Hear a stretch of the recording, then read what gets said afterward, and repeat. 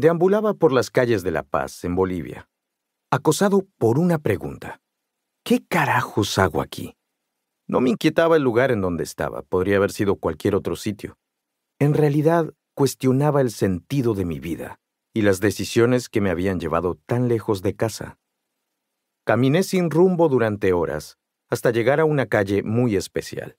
Sorprendido comencé a ver todo tipo de artesanías y textiles hermosos, pero lo que más llamó mi atención fue ver colgados y en venta decenas de fetos de llama, un mamífero andino similar al camello, y que hasta llegar a ese país yo nunca había visto.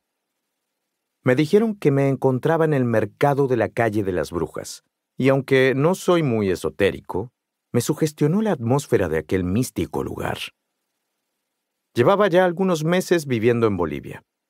Pero ese día me dediqué a merodear como turista buscando algún regalo para mi hermana, a quien no sabía cuándo volvería a ver.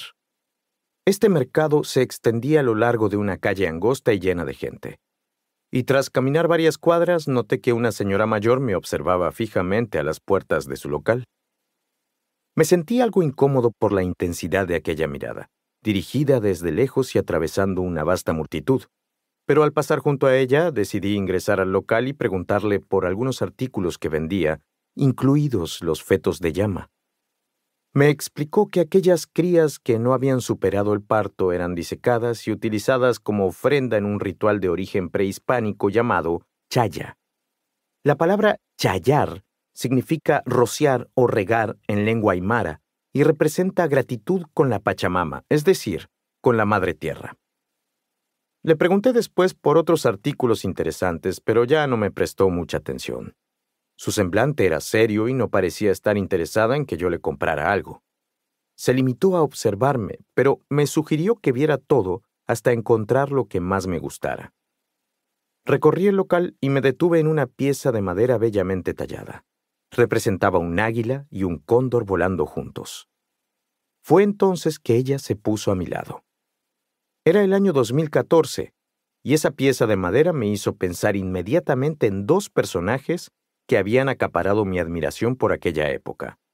El intelectual estadounidense Noam Chomsky y el político uruguayo José Pepe Mujica.